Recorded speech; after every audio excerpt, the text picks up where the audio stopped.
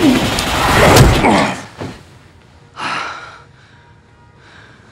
not gonna lie, I'm impressed. You've got some balls breaking in here. Yes, you see my balls, then you'll be really impressed. Hmm.